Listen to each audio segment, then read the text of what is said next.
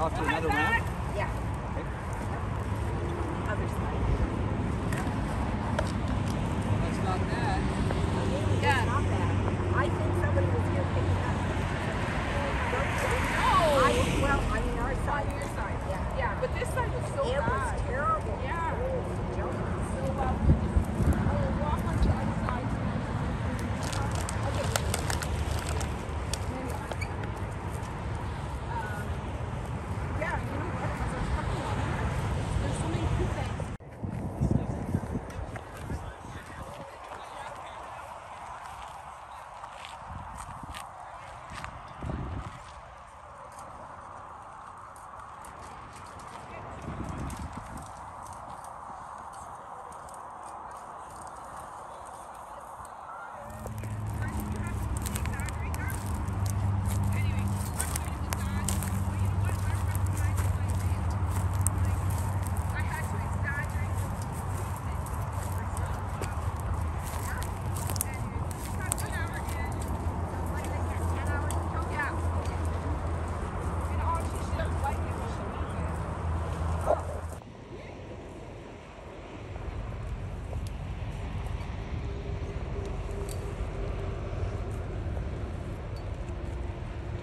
Second, second year you're doing this. Uh, first, first time. Tell me what this uh, means to you.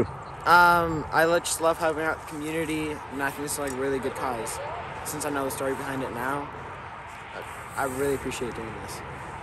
Are you surprised at the amount of garbage? There's a lot, and it's like everywhere. And this is only like a small part of the highway, and so I'm assuming there's so much more. All the more special that it's uh, this ramp is in honor of a fallen soldier. Of course, of course. They um, will you come again? Oh yeah, I'd love to. I mean, when you see the alcohol containers, do you see you know that's the type of thing that's on our roadways? Yeah, it's really sad to see all the alcohol because there's a lot of it, and it's really bad. Great job you guys are doing. It's Thank not you. something you expect to be doing on a Saturday, or is it? Of course not, no. Lay in my bed, Happy to be here. of course.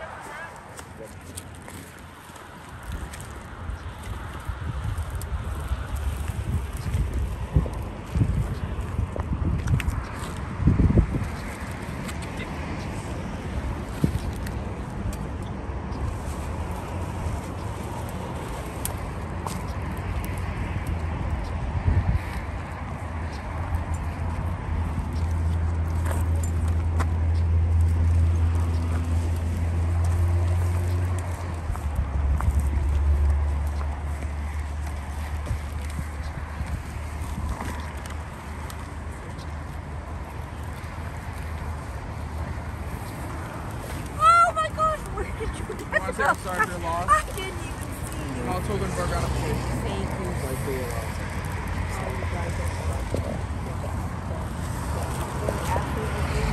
My best present, you know what, is you guys coming out.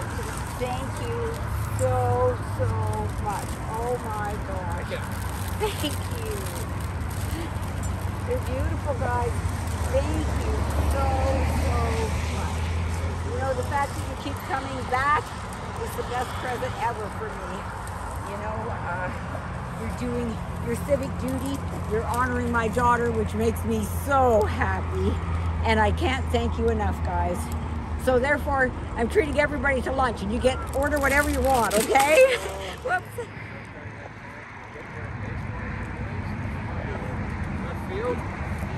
Diane, one uh, one question. What do you think of all this? I- I'm almost speechless, Pete. The fact that these young men come out year after year to help clean this highway, it's I'm just overwhelmed by it and love every minute being out here. Carrie, tell me about this. Uh, How long have you been doing this for, and again, uh, out and again? Uh, we started in 2016 honoring Major Michelle Knight Mendes, uh, the 118th soldier to be carried home from the Afghanistan war, and cleaning the Highway of Heroes with their, her mom, uh, Diane. And so we're now 2024. And so uh, a couple years ago, we started doing Youth Day on the Highway of Heroes.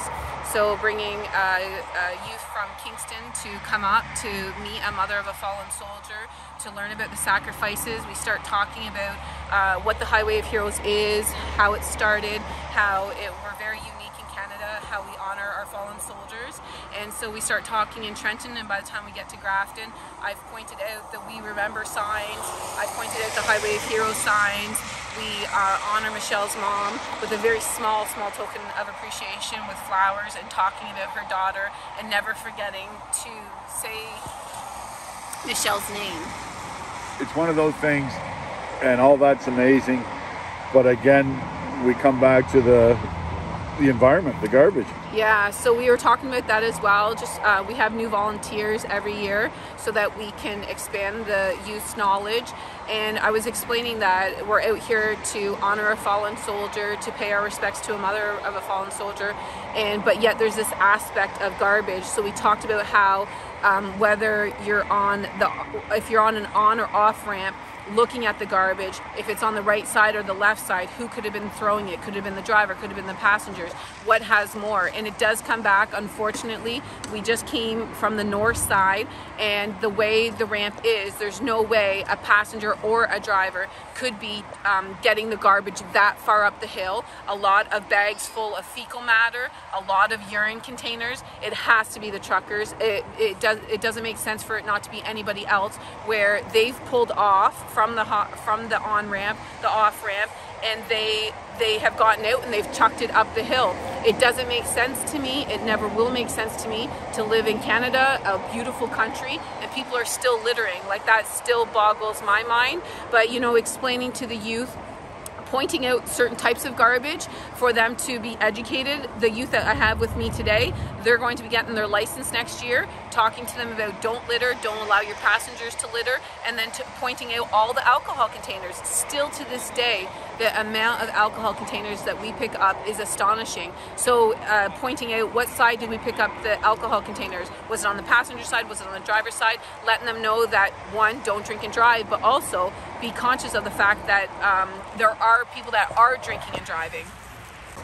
It's a wealth of knowledge. This highway, this sacred stretch of highway, is a wealth of knowledge um, for service and sacrifice, for education about our country, and to uh, honor our country, honor the fallen, but keep Canada beautiful.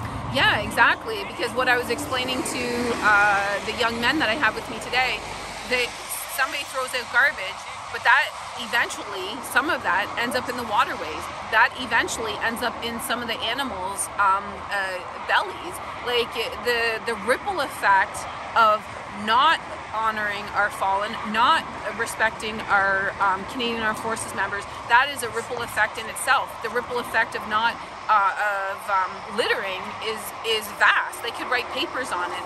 And so one of the things that the boys do in grade nine is they write uh, paper on acts of kindness, um, acts of volunteerism, and and they the youth that I had last year, they specifically wrote about. Um, this experience on the Highway of Heroes because those youth came out for the spring and fall clean, and, and this group of students will come out for the spring and fall clean as well.